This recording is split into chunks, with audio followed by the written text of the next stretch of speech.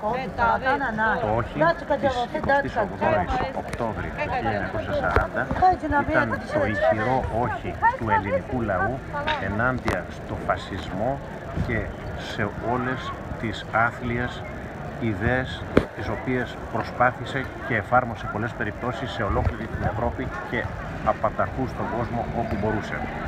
Η αντίσταση ενός μικρού αλλά ηρωικού λαού έχει πολλά μηνύματα. Οι Έλληνες ήταν από τους λαούς που έδωσαν την μεγαλύτερη συμμετοχή σε ανθρώπινο δυναμικό, σε ανθρώπινες ζωές και σε υλικές καταστροφές σε όλη αυτή την υπόθεση α, αλλά όμως αυτό πραγματικά μας κάνει εθνικά υπερήφανους και βεβαίως το όχι εκείνης της εποχής μας το κουβαλάμε μαζί μας και λέμε και όχι σήμερα σε οτιδήποτε ε, έχει σχέση με ολοκληρωτισμό, με ανελευθερία και είναι μια πραγματική υπεράσπιση της δημοκρατίας και των ανθρωπίνων δικαιωμάτων.